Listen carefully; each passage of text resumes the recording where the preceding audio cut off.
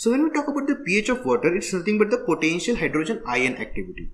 So a lot of people have this confusion is like whenever we are giving nutrient solution, when we are adding nutrient solution into the water, how plants are taking it. Either plants are taking it into the same granular or a salt format. Like if plants want nutrients, does it goes into the water and search for the uh, no, nitrogen element and it start absorbing the nitrogen? No, it doesn't work that way. So whenever we are adding any fertilizer into the water, they form different kind of ions. So on based on that, the pH of the different different ions is formed. The same way, hydrogen has its own ion activity. Either it's a negative or it's a positive. They have their own ion activities into the water. So counting that uh, potential hydrogen ion activity gives us idea about what is the pH of the water. So generally when we talk about the pH scale, the pH scale starts from 0 and it goes up to range 14.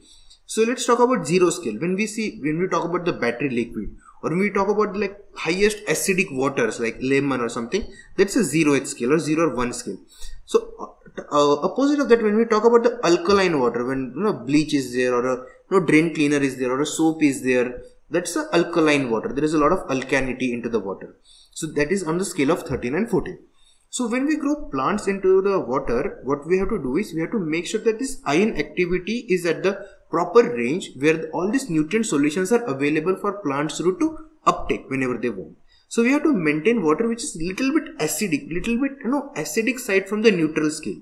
So we maintain acidic pH like 5.5 to 6.5 is a maintainable pH range which we need to make sure that all nutrient solution and all fertilizers and elements are available into the water are easily consumable by the plant's root. So maintaining 5.5 to 6.5 EC is a uh, pH is a very much crucial for the plant growth.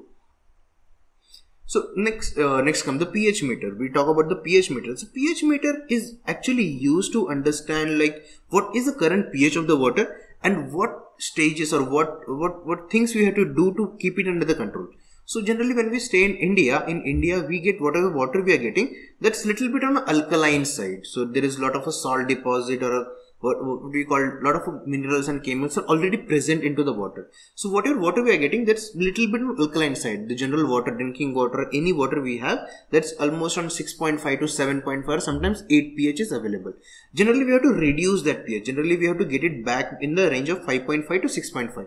So we make use of acid. So generally, acid is used to bring down the pH of a water. So uh, in our farm, we use uh, phosphoric acid for this purpose.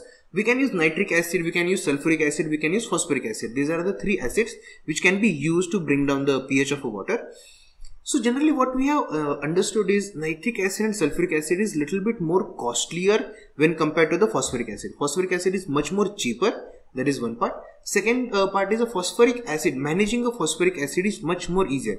In nitric acid the shoot up is a very high for example if i'm if i'm diluting the sulfuric acid into the water i have to make sure that the proper ph is achieved i have to make sure the proper circulation is happen sulfuric uh, and uh, same issues with the sulfuric acid when you talk about the phosphoric acid that issue is not there managing phosphoric acid is much more easier phosphoric acid is much more cheaper and agriculture no food grade phosphoric acid is easily available at any part of India.